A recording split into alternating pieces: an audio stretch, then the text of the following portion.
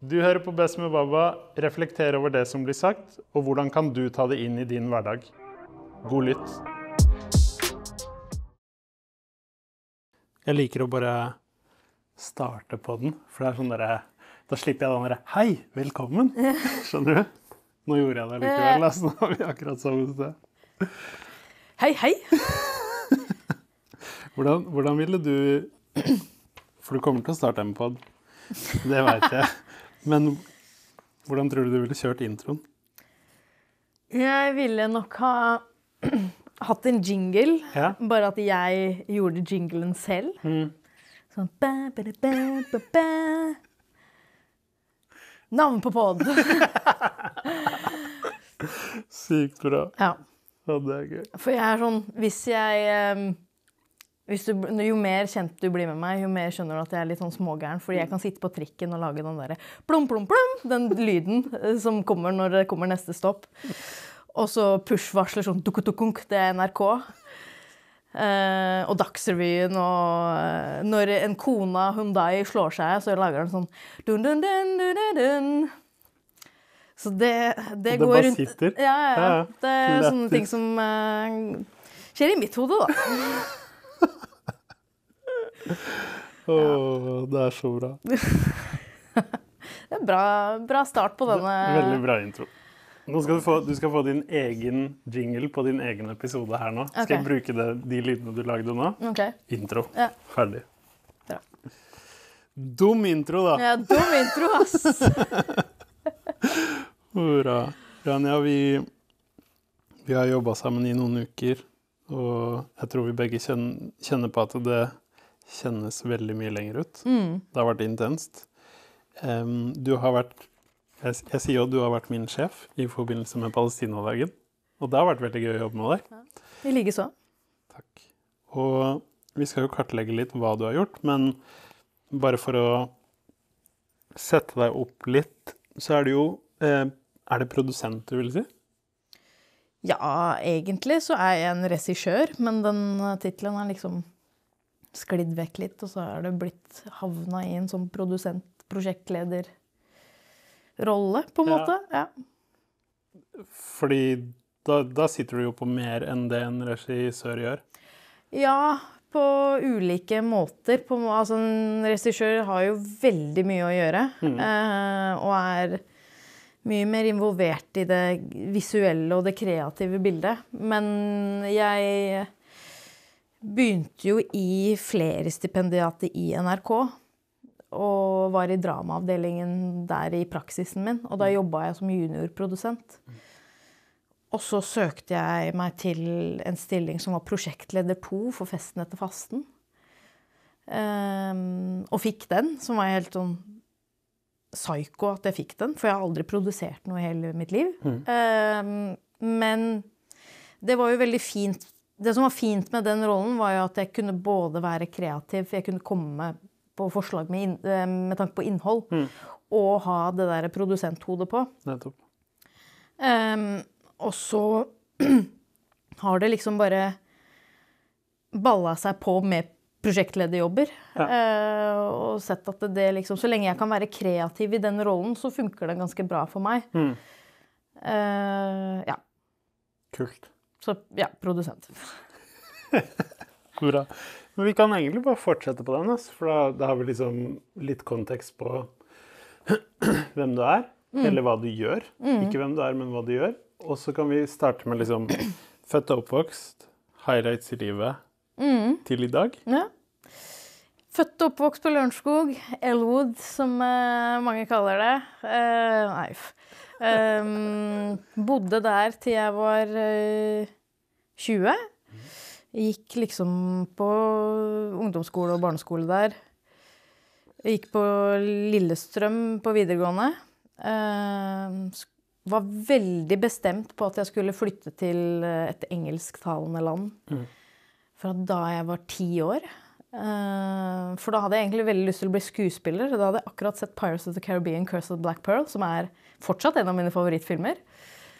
Ville egentlig bli en pirat. Skjønte at jeg ikke kunne bli en pirat, så da må jeg bli skuespiller. Um, Og så gikk jeg dramalinja, og så skjønte jeg i dramalinja at eh, det er kanskje ikke foran jeg skal være, det er kanskje bak scenen jeg skal være. For jeg likte veldig å liksom jobbe med scenografi og regien og ta litt den stillingen istedenfor å ha hovedrollen i et stykke. Um, og så var jeg sånn OK, men nå skal jeg flytte til London, og så skal jeg begynne å lage filmer, liksom. Uh, og så tok jeg et friår uh, for å spare penger. Jobba på Brilleland på Triaden på Lørenskog. Herlig sted. Um, og så reiste jeg til London i 2012. Studerte film- og TV-produksjon i uh, en filmskole der, som var liksom ganske sjukt å gjøre, egentlig. Uh, veldig gøy, veldig mye nerver og føltes som om hele livet sto på spill mm. hele tiden. Og fikk regissert uh, en del ting og skrevet og bare lært, liksom. Jeg har aldri jobbet med film før det. Jeg sendte inn, I søknaden min så sendte jeg inn en film som var liksom laget med en gammel VH, ja. Nesten sånn VHS-kamera. Uh, Eh, så det var, helt, eh, jeg var veldig overraska over at jeg fikk lov til å være med så mange flinke folk også. På en ganske bra skole, om jeg kan si det. Mm. Og alt funka som en, et produksjonshus, på en måte. Det føltes ikke ut som det var skole. Men så blir man litt sånn skada av å gå på filmskole, for nå klarer jeg ikke helt å se på filmer uten at man sitter og analyserer det. Vi brukte jo tre timer på å analysere 30 sekunder av Gudfaren. Så da blir man helt sånn Jeg klarer ikke å Hvorfor har de klippet sånn, og hvorfor ja. gjør de det? Og han skulle ikke ha snudd seg der. Og, uh, så man blir litt sånn uh, eh, skada av det. Mm. Uh, men veldig gøy. Og så er man jo ferdig på filmskolen, og så er det sånn Å ja, det koster jo penger å lage film, og i London bor det 11 millioner mennesker, og 10 15 av dem har lyst til å lage, jobbe i filmbransjen. Mm. Så det var jo veldig vanskelig å komme inn i bransjen i det hele tatt. Sendte kanskje 120 søknader hvert år om hei, jeg er en regissør, utdanna meg herfra, har denne ideen. Kommer gjerne inn for en kaffe. Klipte min egen showreel, mm. sendte den ut. Um, var hjemløs på et eller annet tidspunkt rett etter universitetet. For da skulle vi flytte inn et sted. Og så endte det opp med at eh, nei, nei, det var ikke 14. august dere skulle flytte, det var 14. september. Eh, så var det liksom måneden sånn OK, jeg er akkurat ferdig på universitetet. Jeg vet ikke hva jeg skal gjøre, jeg har ikke noe jobb og jeg har ikke noe sted å bo. Mm. Men jeg hadde akkurat regissert en film, så jeg bodde hos klipperen min i en måned. Som var liksom superproduktivt. Og så fikk jeg jobb på en kino i nordvest London. Som ble mitt andre hjem. Eh, for jeg begynte der som medarbeider, og så fant jeg ut at her er det jo mange folk som har de samme målene i livet som meg. Alle som jobba der, var liksom skuespillere og ville bli regissører eller um, ja, bare jobbe med film generelt. Så jeg fant liksom en liten sånn community der. Og så regisserte jeg filmer på, på siden, liksom, utenfor jobb. Men så er det jo veldig er veldig hardt å bo i London. Det er ikke sånn kjempebra lønn, og så får du ikke noe jobber noen andre steder. Så det var liksom OK. Fikk tilbud om å bli sånn skiftleder. Mm. Og så ble jeg det. Og så var det sånn OK, men det kult å være leder, da. Få bestemme over folk og litt sånn. Eh, og så bare balla det seg på, så ble jeg liksom assisterende, og så nestleder, og så ble jeg daglig leder. Mm. Ehm, og jobba der i fem år og møtte på noen av de herligste menneskene jeg har møtt i livet mitt. Ehm, og det, den kinoen har jeg så mye kjærlighet for. Jeg, det så, jeg var nesten en sånn museumsguide når mm. folk kom og besøkte. For sånn, begynte å fortelle om meg. Denne ble bygd i 1881 og var en treningsleir. Og Charlie Chaplin har stått på scenen her. og Jeg hadde så utrolig mye stolthet over den kinoen, fordi ja. den var så den var så sykt kul. Bare hele bygget, liksom. Um, og den gjengen som jobba der, som var bare sånn dritfet gjeng. Og det som var unikt med den kinoen, var jo at vi hadde Det var en nisjekino, så vi viste jo liksom Marvel og sånne ting. Men vi hadde jo premiere på ting, og vi hadde Q&As. Vi hadde Q&A med Sam Mendes og 1917, og Sir Ben Kingsley har vært der. og jeg satt og så på en film med Helena Bonham Carter en gang, og Boy George. og Helt syke folk som kom inn. Jeg har ødelagt eh, julaften til Thierry Henry en gang fordi filmen ville ikke spille. Han var dritsur på meg. Eh, så det var veldig mye sånne rare ting som man opplevde. Eh, Richard Gere er ikke en særlig hyggelig fyr. Men så ja, det var liksom det å Og vi hadde eh, servitører inne i salen. Mm. Så vi hadde jo 25 minutter med reklame og trailere. Og i, løpet av 10 minutter så var, hadde vi servitører som tok ordrene inne i salen. Mm. Og så kom det billetter ut på baren og kjøkkenet, og så løp vi de inn. Og så var det liksom alltid en sånn Before showtime, liksom. Vi hadde 25 minutter på å gjøre alt klart. Mm. Og det var så digg, for vi fikk det til nesten hver gang. ikke sant? Mm. Og så hadde vi sånne debrief hvor vi samla teamet. Så det var en skikkelig, det var ikke bare en arbeidsplass for folk, det blei et hjem for folk. som mm. Alle blei venner der, og vi hang sammen på fritiden. Og skulle vi møtes, så møttes vi på kinoen, for hadde, vi hadde et lite rom der. Og... Så det var skikkelig um... Ja, jeg var der mer enn det jeg var hjemme. Mm. Uh, og jobba jo forferdelig mye. Mm. Uh, og, fikk mye kjeft for det også. Mm. Uh, men det var jo litt umulig uh, å ikke gjøre det. Jeg drev en ki, altså Ved siden av kinoen så var det en restaurant som var tilknytta kinoen. Og det var jo en, en, helt annet lokale som jeg også drev. Så det var å ha to kjøkkener. Burgerne gikk til kinoen, de også, pluss at de hadde egne gjester. Ja, mye å holde styr på. Mm. Jeg snakka fælt om den kinoen her, jeg skal slutte. Men uh, det har jo vært en veldig stor del av livet mitt, og jeg jobba der i fem år. Og så uh, eh, flytta jeg til Norge i oktober 2020. Uh, hadde ikke noe jobb da heller. Kom meg inn i flerstipendiatet, som jeg sa tidligere. Mm. Og fikk en vei inn i NRK. Mm. Uh, var liksom helt sånn Shit, jeg kan ikke tro at jeg jobber i NRK. Mm. Eh, jeg har en søster som jobber i NRK også, så jeg syns det er dritkult å jobbe på samme arbeidsplass som henne. Eh, og så fikk jeg liksom eh, det øyeblikket jeg har venta på i hele livet, og det var jo å jobbe med et prosjekt som heter Festen etter fasten, som er og feiringen av eid, mm. som er muslimenes høytid etter ramadan. Uh, som var helt um, Ja, det var helt rått, liksom, å få lov til å kunne gjøre det. Direktesendt TV er et så rush som ikke finnes noe sted. Altså, jeg fikk jo ikke med meg, Da vi gikk live, så fikk jeg jo ikke med meg de første to og et halvt minuttene, fordi jeg satt bare og grein. Mm. Det var sånn To minutter før sending så var det sånn Woho! Og så 30, 30, minutter, 30 sekunder før sending så var det sånn Vi hulka i det der eh, kontrollrommet. Um, og så uh, Jeg må jo si jeg hadde en i dramaavdelingen i NRK som pusha meg veldig til å uh, gjøre ting. Mm. Så jeg fikk mange andre muligheter også. Jeg, begynte, jeg har begynt å jobbe som moderator pga. en som heter Jan i dramaavdelingen. Som så et eller annet i meg som var sånn Hun kan sitte og intervjue folk. Eh, som var bare helt sånn OK. Mm. Eh, for da hadde vi også et prosjekt som het Nye stemmer. Og da inviterer vi nye uetablerte mediefolk mm. til en fagdag av Kul. fagfolk for de som ikke vet hvordan de skal komme seg inn i bransjen. Nettopp. Og det var en sånn heldags som skjer hver september, som er en del av uh, seriedagene. Som er en sånn dramakonferanse i Oslo. Mm. På Vega scene. Uh, og det var jeg prosjektleder for og moderator for. Uh, så jeg gjorde liksom de to om hverandre i NRK. Så jeg mm. gjorde Nye stemmer, Festen etter fasten, nye stemmer igjen. Mm. Eh, og da gjorde vi det prosjektet mye større, for vi pleide å ha det i Oslo. Og så var jeg sånn, Men det er jo mange andre talenter rundt om i landet, så da dro vi også til Bergen og Trondheim. Mm. Og hele meninga med det prosjektet er jo også for at bransjen skal få se folk med mangfoldsbakgrunn. Mm.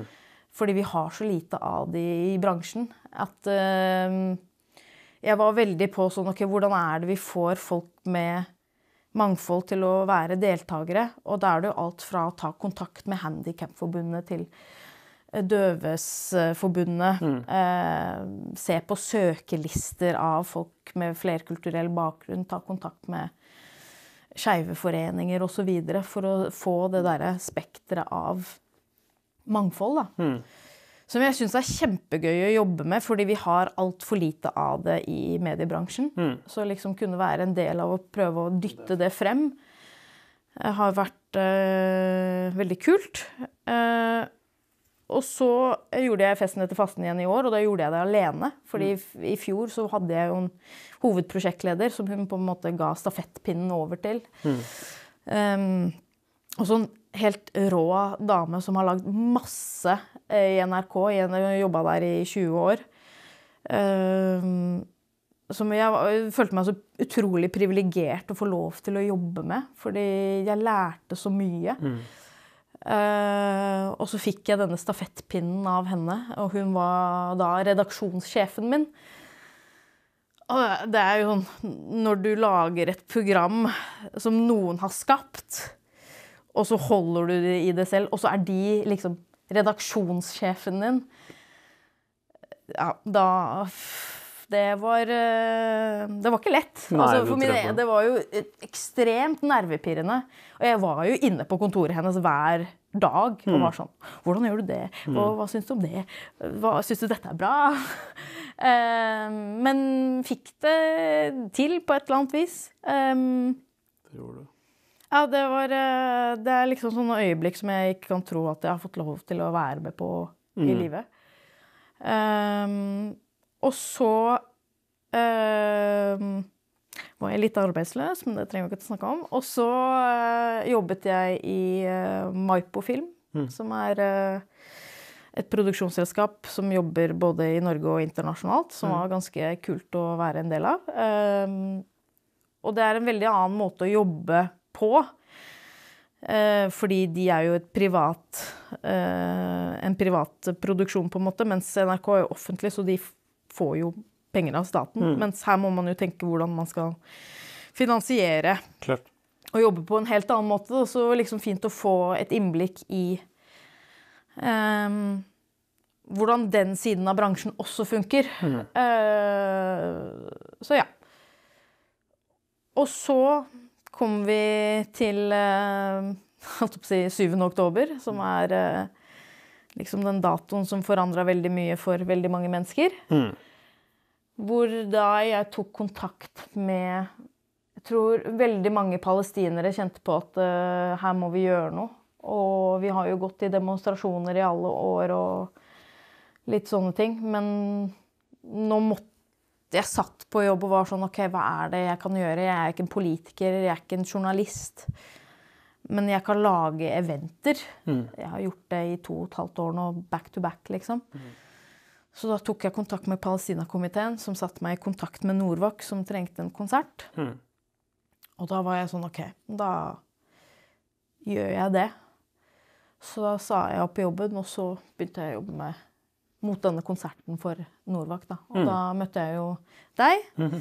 Og så møtte jeg Eller jeg møtte jo ikke Mariam da, men jeg, jeg dro med meg Mariam. Uh, bless her heart. Sa til meg at hun egentlig hadde 100 ting å gjøre, men hun var jo like mye i det som meg, på en måte. Uh, fantastisk uh, dame. Så utrolig Utrolig flink. Eh, organisert og bare kul, liksom. Hun Så- kommer til å få til mye. Hun kommer til å få ja, det utrolig mye. hun- har fått det mye allerede. Hun har fått det veldig mye allerede. Mm. Eh, hun er eh, Norways rising star, for å si det sånn. Helt klart. Um, og så lagde vi denne konserten, da, og så er vi, er vi her. Bra. Ja. Godt Det oppsummert. babla i ett kjør. Det er meninga, det. Det, er, det er hele poenget.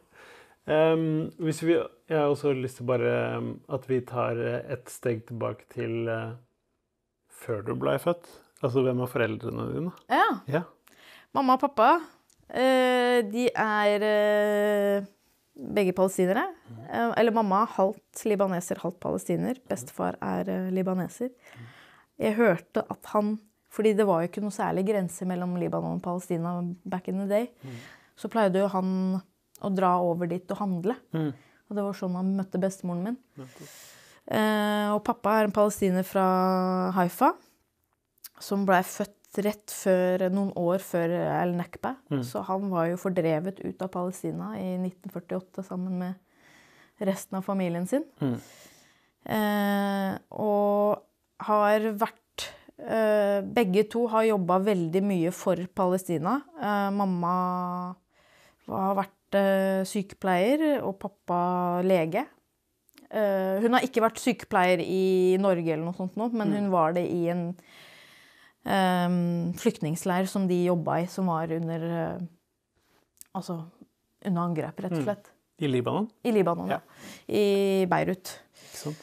Så de eh, brukte mye tid, eh, eller var veldig mye i Beirut, eh, før eh, de flytta liksom rundt om i verden, før de endte opp i Norge. Mm.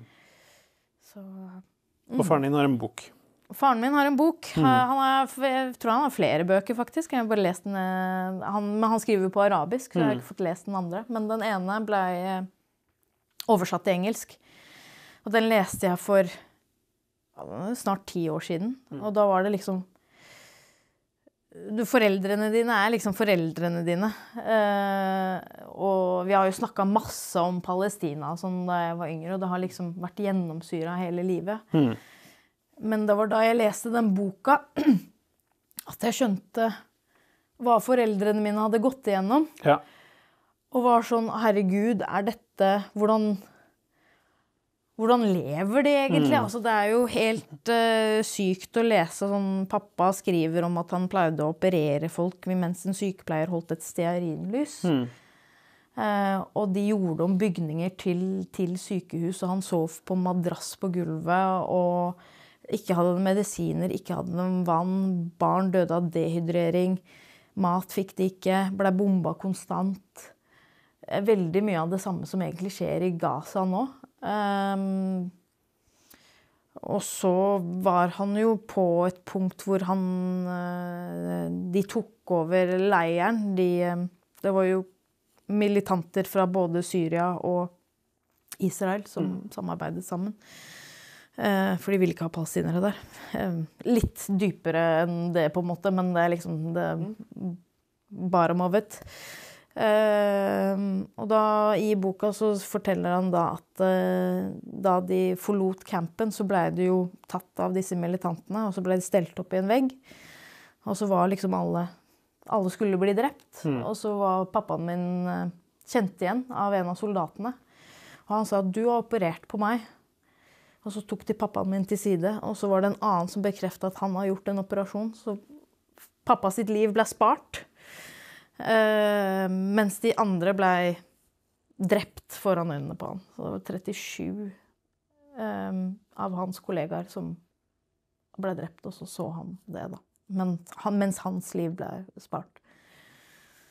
Så For det her det er, en, er det en dagbok, ikke sant? det er en dagbok, ja. Ja. Så han skriver liksom om de 52 dagene. Han skriver li, litt før Han skriver om de 52 dagene som de var under angrep, på en måte. Mm. Og da fortalte pappa også at han gjorde det på alt fra en, et, en serviett til liksom alt han fant han kunne skrive på. Så han skrev imens han var der, og så er jo noe av det minner også. Mm. Um, mm. Jeg tar og legger ved, ved link til den boka, Mm. hvis det er noen som har lyst til å se, lese mer om det. Den eh, jeg kan kjøpe den på Palestina-butikken på Markveien. Bra. Um, Bra plugg. Mm. Kult. Hvorfor tror, du, hvorfor tror du at du er god til det du driver med? Eh, vi vi snakka om det spørsmålet her før. eh, Jeg syns det er helt forferdelig spørsmål å spørre, Nader. Ehm, jeg vet ikke om jeg er god på det jeg driver med, men jeg vet at jeg har ekstremt mye eh, sånn kjærlighet til det jeg driver med. Jeg blir jo helt obsessed med ting. Yes. Eh, i sånn, Can confirm. Ja, ja. Eh, og det er det Og om jeg gjør det bra eller ikke, det vet jeg ikke. Sånn oppriktig. Eh, for man kan jo alltid se forbedringer i ting og sånn. Men jeg gjør ting som jeg elsker å gjøre. Og det er liksom den derre lidenskapen for det som gjør at det kan virke som Det kan kamuflere at jeg egentlig er kjempedårlig i det. Men jeg har, men jeg har i hvert fall en sånn derre Jeg har et eller annet driv inni meg som sier 'Å, dette er gøy', og så har jeg veldig eh, kanskje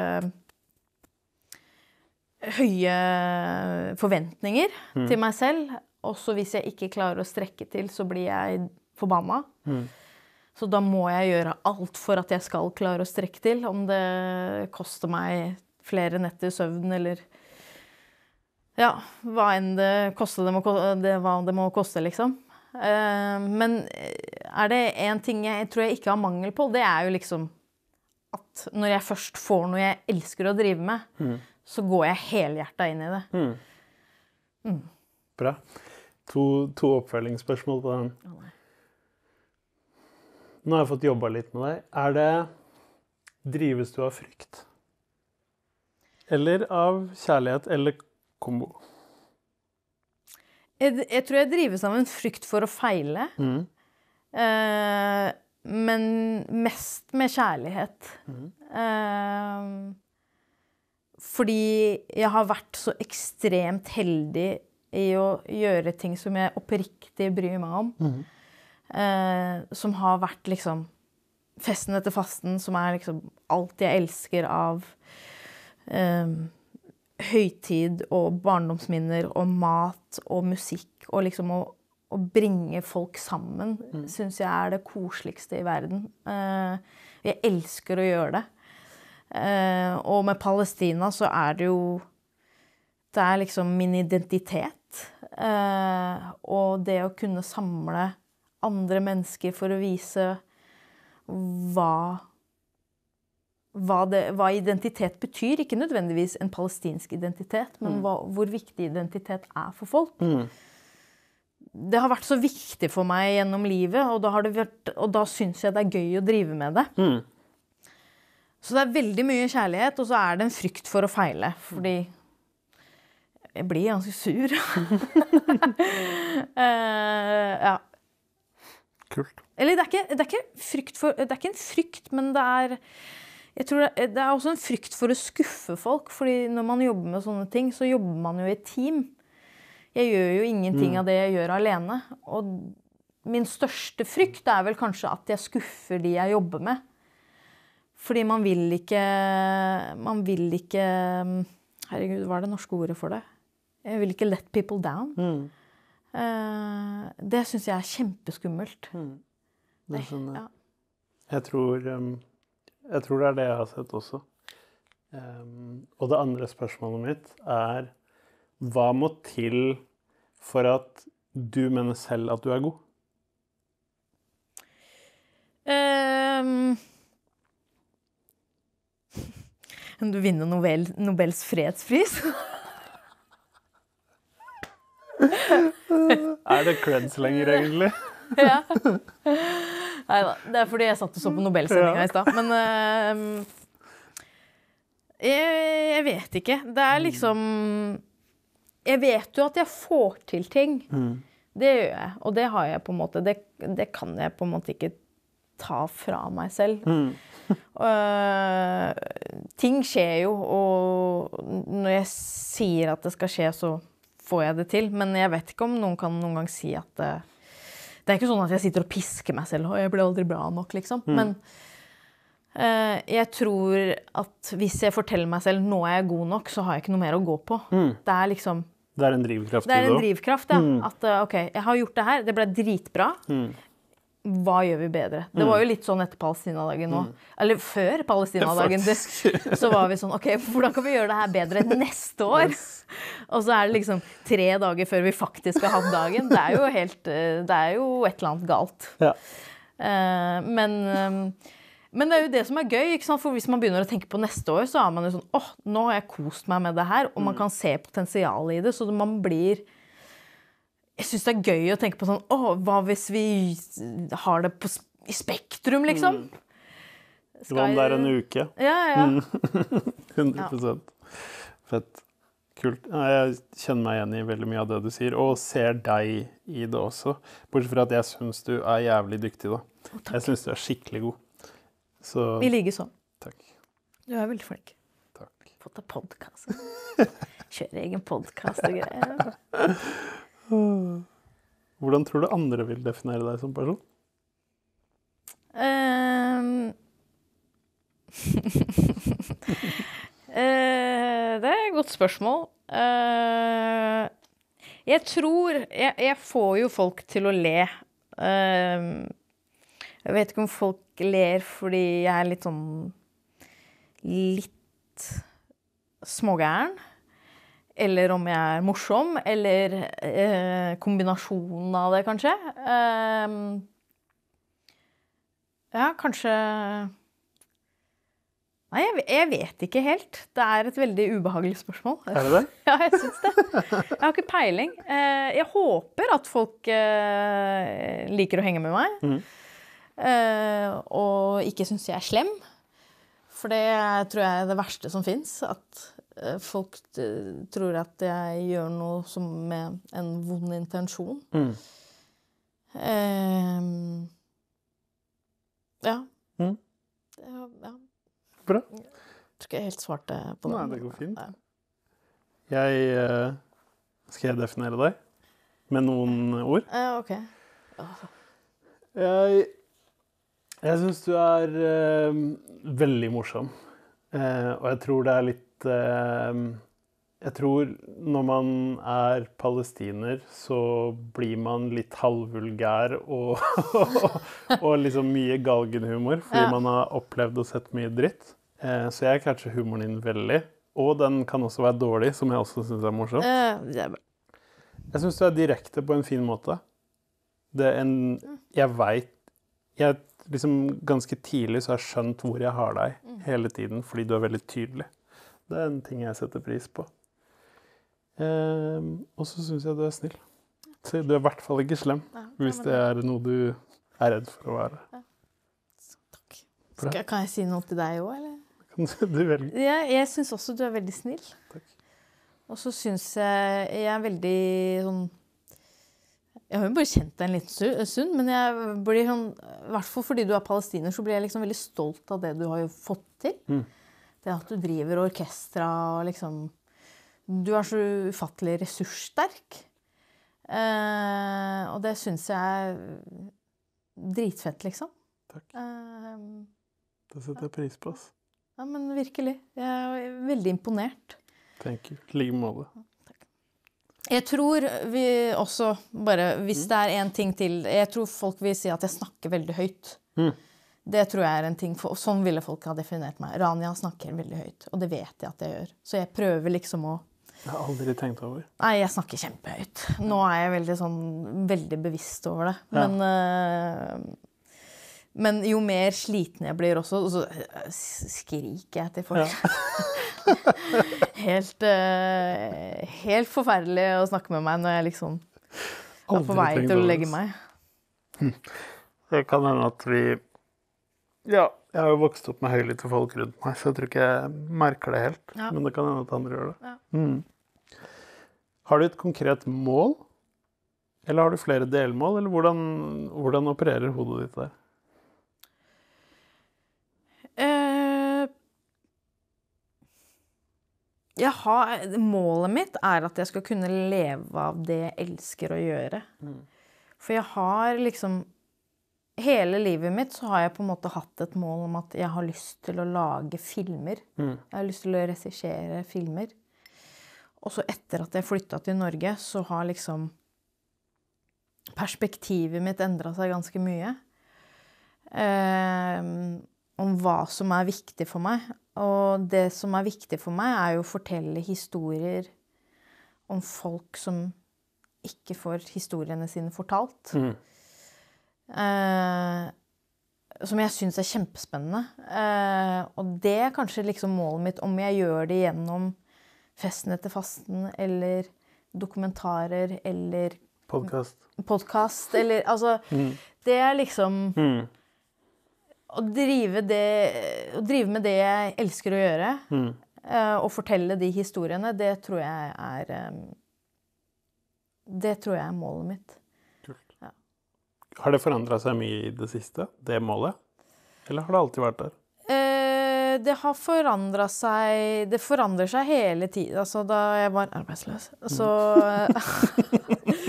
eh, Så hadde jeg jo veldig mange forskjellige ting jeg hadde lyst til å gjøre. Mm. Så det er jo liksom Jeg har jo en sitcom-idé, for eksempel, som jeg har veldig lyst til å lage. Mm.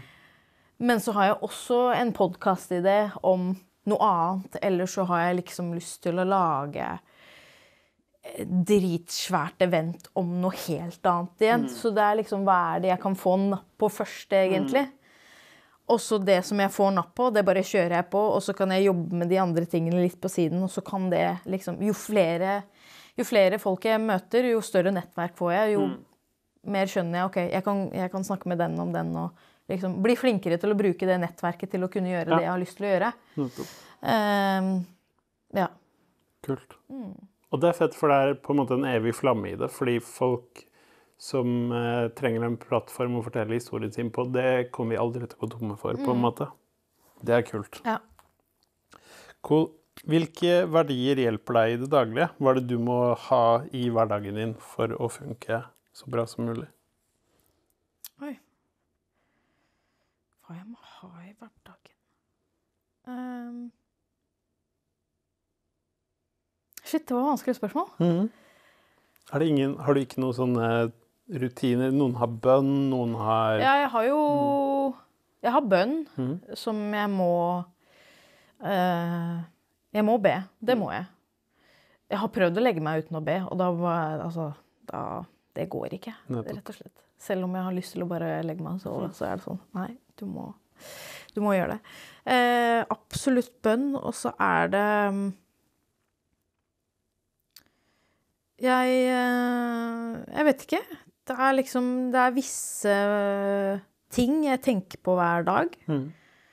som er en slags rutine eh, som driver meg videre. Eh, noe av det er liksom eh, Altså bare for å gå inn på det uten å gå inn på det, så mista jeg jo nevøene mine i 2020, som var grunnen til at jeg flytta tilbake til Norge. Mm. Eh, og jobber eh, Det er jo også noe jeg glemte å nevne. Jeg jobber jo med en stiftelse som heter Erkeengler. Erkeengler. Som jeg driver et filmkurs for og litt sånne ting. Så det er jo også noe som driver meg i hverdagen. Mm. Men de to nevøene mine, de er liksom drivkraften i hverdagen min. Mhm. Å få liksom Få det til å gå, da, når man har dårlige dager eller når man har gode dager. Mm. Så jeg føler jo at jeg gjør alt det jeg får lov til å gjøre, og alt det jeg kommer til å gjøre, er på grunn av dem. Mm. Så det tar jeg liksom med meg. Mm. Fordi alt det jeg har opplevd de to De tre siste årene har eh, kostet ekstremt mye personlig. Mhm.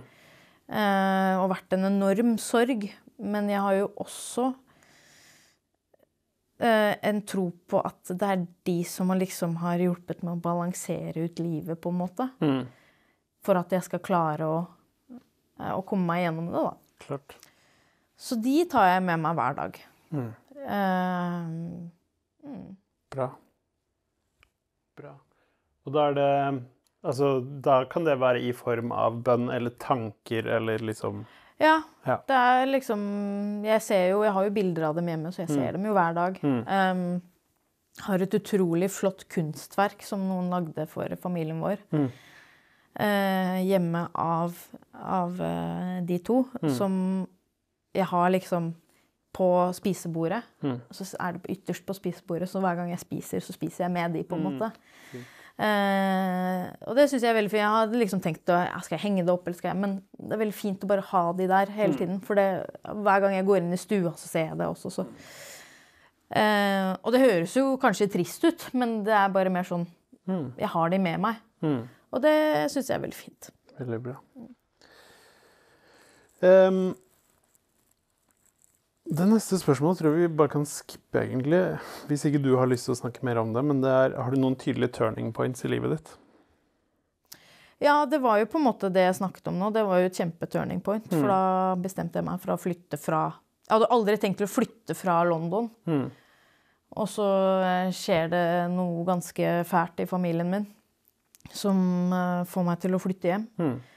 Eh, og som har snudd hele livet på hodet, liksom. Mm. Eh, hadde bygd opp et liv i London i åtte år, og så må man liksom pakke det sammen på noen måneder og flytte hjem igjen. Og så får man muligheter man aldri trodde man skulle få. Så det, det har jo noe, det igjen noe veldig, veldig stor pris å betale Altså en veldig stor pris å betale for det.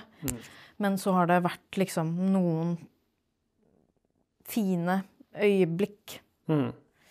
uh, i det også, som har hjulpet meg videre. Mm.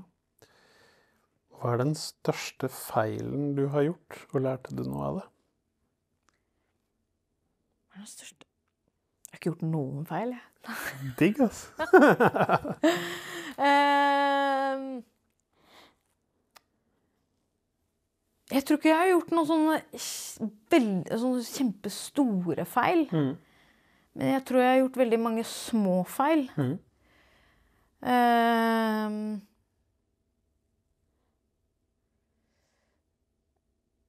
jeg vet ikke helt hva, hvordan jeg skal svare på det. Før det?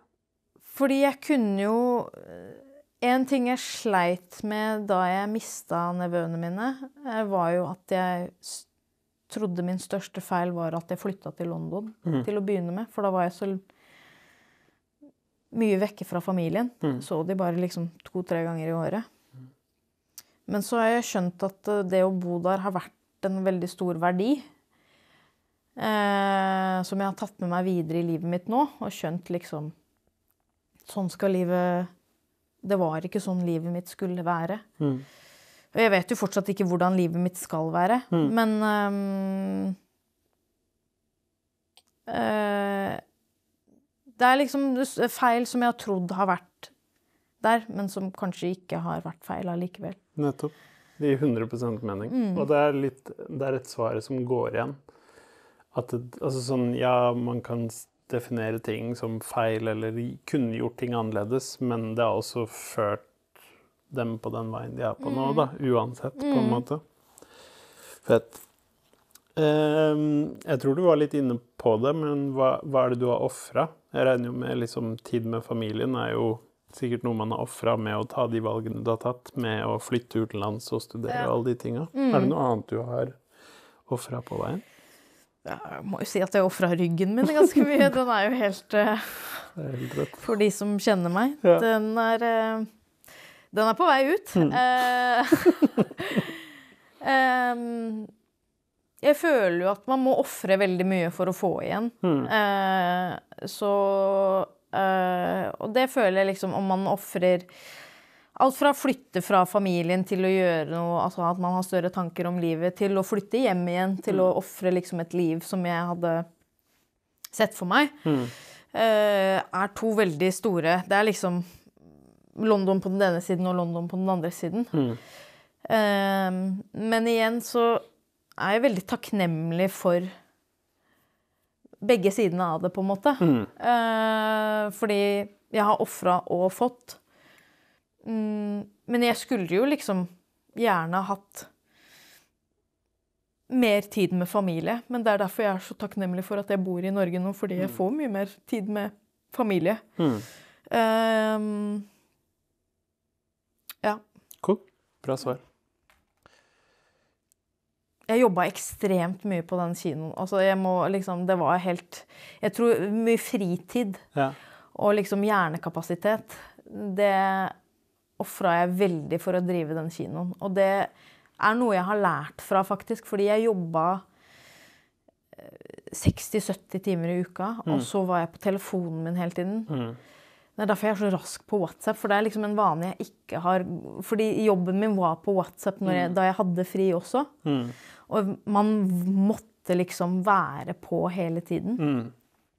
Og det har vært en sånn kjempeavvenning å lære at man har man har helg, Mm. og man har ettermiddag hvor man ikke gjør noe. Mm.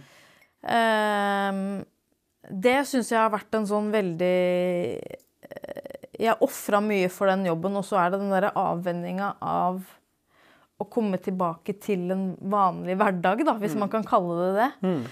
Um, for den Den var ganske Altså, det høres jo veldig enkelt ut å drive en kino, kanskje, men det er veldig mye tid og arbeid, og det er jo Du er jo leder Jeg hadde jo 40 ansatte. Mm. Og det er så mye press, og det er så mye som skjer. Eh, og man, man driver jo en bedrift til syvende og sist som skal tjene penger. Så det er jo liksom Det valget jeg tok der, eh, det var liksom OK, jeg dedikerer hele livet mitt til denne kinoen. Og så har jeg skjønt at kanskje Jeg har lært av det, og kanskje skjønt at man må finne en balanse mellom jobbliv og livliv. Liv, liv. Livliv, ja. Hurra. Ehm, det er jo Jeg tror alle som på en måte har vært innom servicebransjen på et eller annet nivå, eh, skjønner Mm. hvor mye det krever. Eh, og jeg hadde jo en restaurant en liten periode. Og hvis jeg skulle drevet en restaurant ved siden av en kino Det hadde ikke gått. Nei. Jeg hadde ikke klart det. Men var det der ryggen starta? Var det Nei, den starta i 13-årsalderen. Ok, Liksom. Den har vært den er. Ah, shit, ass. Ehm, bra. Har du noen forbilder? Um, det er et spørsmål jeg faktisk har tenkt på. Mm. Um, og det er nok uh, hele familien min. Mm. Det er bror og søster og mamma og pappa som på hver sin måte har egenskaper som jeg håper jeg har, og som jeg håper jeg kan liksom ta med videre. Mm. Uh, mm, det er uh, De har lært meg masse. Ehm, Bra. mm. Right. Er det noe du vil tilføye av alt vi har snakka om nå? Om det er noe jeg vil tilføye Jeg må bare legge til én ting da vi, når du snakka om det med WhatsApp. Det gikk seriøst to minutter i den gruppa vår med Palestinadagen der du ikke svarte, og vi begynte å kødde med at du ikke svarte. Så det er liksom Jeg tror jeg screenshotta det òg. Bare for å få folk til å forstå hvor på du er. Ja. Nei, jeg virkelig levde og bodde i WhatsApp i London. Det var helt sånn eh, Og jeg er fortsatt veldig Det er, det er, eh, det er en jobb jeg må gjøre med meg selv. Det er liksom å klare å være uavhengig av WhatsApp. Fordi det var eh, Ja, fy fader. Detox. Ja. Bra. Om det er noe jeg vil tilføye, det eh, Jeg håper du har det bra. Mm. Eh, og jeg håper at vi jobber mer sammen, for jeg syns det var veldig gøy med Palestinadagen. Mm, enig. Um, og så vil jeg gjerne at folk skal sjekke stiftelsen broren min har stifta, Mm. som heter Erkeengler. Fordi vi gjør veldig mye fint for eh, unge barn Mm. på Lørenskog og Rælingen. Um, jeg driver en filmskole, har eh, masse herlige kids der som har lyst til å fortelle historier også. Um, og syns det er så kult å se hva slags kreativitet kids har. Mm. Selv om vi sier 'skriv to karakterer i dette bygget', så er det sånn Fem alver i skogen. Eh, med, en, drage. Og så er det sånn OK, da skal vi prøve å Vi får det til på et eller annet vis. Men eh, ja, det er liksom Det er noe jeg er veldig stolt av å være en del av. Sånn Det er jo på en måte en del av det profesjonelle livet mitt, men også veldig stor del av det private livet mitt. Mm. Ehm, ja. Som er liksom det stolteste. Vi må jo Det er rart at vi ikke har tenkt på det før, men vi har jo lokalene på Skedsmokorset. Mm. Dere kan jo kjøre en dag ute hos oss. Ja, for da har vi vi. blackboxen, og man kan leke med lys og Ja, alt sånne ja. ting også. Herregud. Det setter vi opp. Ja, det må vi gjøre. Ja, det er gøy. Så skal vi bestille litt pizza og Ja, ja, god stemning. Det må vi gjøre. Å, det hadde de digga. Ja, ja, det må vi gjøre. Og der har vi lydstudio og alt, så de får jo sett flere aspekter av en produksjon nå. Ja, dritkult. Kult. Um, du skal ha monologkveld også. Det skal jeg. Mm. Det er min uh, neste ferd jeg har bydd meg ut på. Mm. Uh, det blir veldig fint, tror jeg. Den skal igjennom tekster fra norske og norske og palestinske forfattere. Så skal vi gå gjennom de fem stadiene av sorg. Mhm. Og det tror jeg blir eh, veldig fint, fordi jeg tror veldig mange Og det er et ord jeg har hørt veldig mange si, at man sitter liksom med en maktesløshet, og man vet ikke helt hva man skal gjøre. Og eh, man ser alle disse bildene på Instagram som man blir bare mer og mer gæren av, egentlig. Mm. Eh, og så var det jo en døgnvake for to helger siden mm. som jeg syns var så eh, fin, for da satt man bare med disse man, I denne døgnvaken så leser man jo navnene på alle de som har blitt drept. Mm. En etter én, fra eldst til yngst i nesten 24 timer. Mm. Og så skrev vi jo navnene på Du var jo med på det. Skrev navnene på sånn lang, hvit rull. Og det var noe veldig meditativt med det, og det var noe veldig beroligende, samtidig utrolig trist. Mhm. Eh, men det var så fint å være Det er noe av det mest rørende jeg har vært med på. Det var så fint å være i det rommet. Mm. Og det er på en måte litt av den samme følelsen jeg har lyst til å skape nå også, er den der, vi, er- vi står sammen i sorgen, vi vet ikke hva vi skal gjøre, men vi kan i hvert fall sitte i et rom og føle på det vi vil føle på, uten at det skal høres så utrolig kleint ut, på en måte. Men jeg tror det er det folk trenger, sammen med alle disse fantastiske demonstrasjonene som Palestinakomiteen jobber med, og alle tingene de gjør. Så trenger man bare det derre Kunst og kultur har så utrolig mye makt. Mm. Så det må vi på en måte bruke når vi kan. Eh, Så torsdag 21. desember på Kosmopolit. Hei, Siri. Kjør. Sorry. Siri prøver å hijacke meg. Ja. Propaganda. Nei da, ikke ta det med. Ikke ta det med. Uh, ja, mandag 21. desember Mm. Nei, det er ikke mandag. Torsdag? Torsdag 21. desember på Kosmopolit så har jeg med en herlig gjeng av skuespillere og poeter som skal lese noen fine tekster. Nice. Mm. Da må jeg huske det. Jeg må legge til link på Erkeengler og Monologkvelden, Mm. så folk kan sjekke ut det. Bra. All right. Hva jeg har lært av deg, Ronja Nå skal jeg ikke bare ta utgangspunkt i den samtalen her, men de to siste ukene. Tre.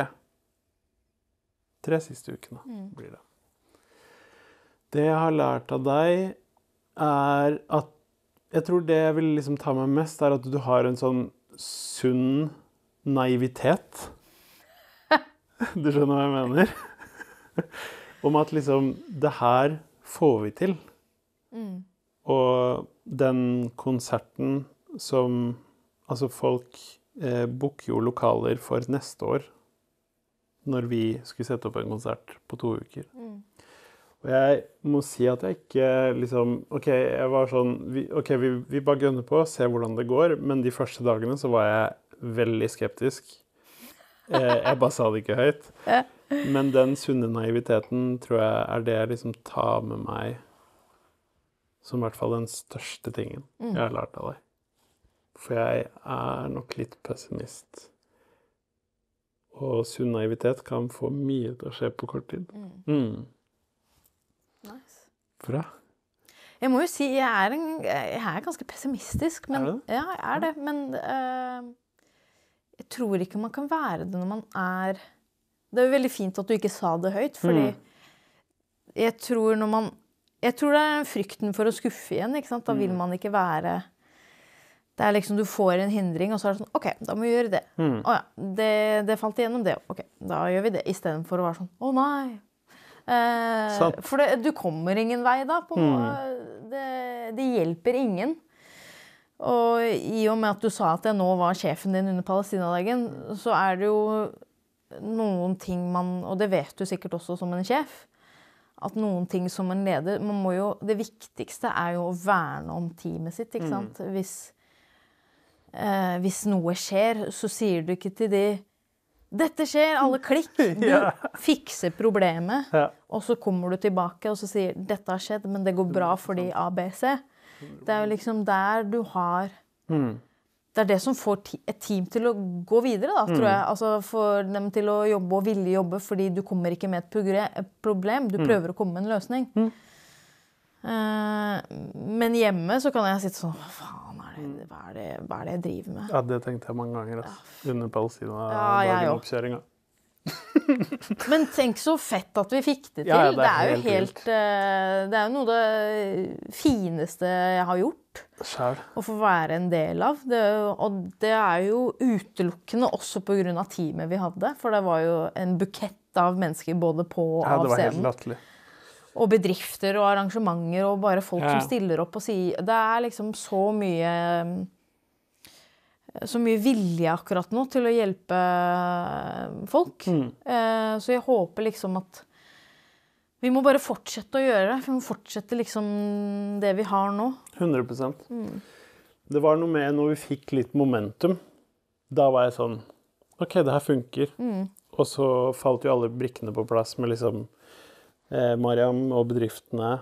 Eh, hun gjorde en syk jobb der. Firas kom inn Mm. og bare fiksa Firas fikser, ass. Firas fiksa.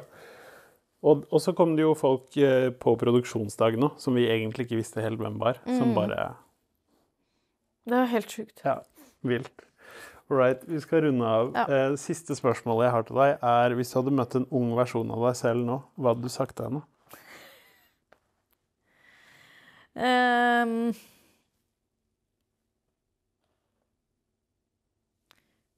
Jeg hadde sagt du eh, Du Nei, det er kleint å si. Jeg kan ikke si det. Si det. Eh, nei, nei.